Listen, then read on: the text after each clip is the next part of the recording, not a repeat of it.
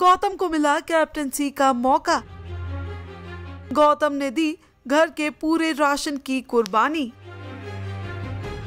जी हाँ Gautam wig big boss के घर के कैप्टन पहले भी रह चुके हैं और अब उन्हें एक बार फिर से घर का कैप्टन बनने का मौका मिल रहा है। लेकिन ये कैप्टनसी ऐसे ही मुफ़्त में गौतम को नहीं मिलने वाली है। जी हाँ इस कैप्टनसी के लिए गौतम को दाम चुकाना होगा। वेल, वीकेंड के वार में साम दाम दंड भेद वाले सेक्शन में सलमान खान ने गौतम विग को कैप्टनसी ऑफ़र की, लेकिन उनसे बदले में मांगा सलमान ने इस कैप्टनसी के लिए दाम।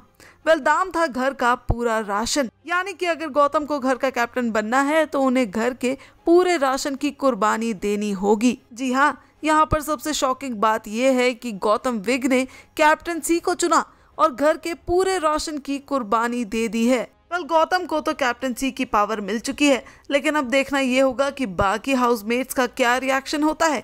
अब जब घर में राशन नहीं होगा तो देखना काफ़ी ज़्यादा इंटरेस्टिंग होगा कि बाकी घर वाले कैप्टन की बात मानते हैं या फिर इस कैप्टन को बॉयकॉट करने के लिए कहेंगे।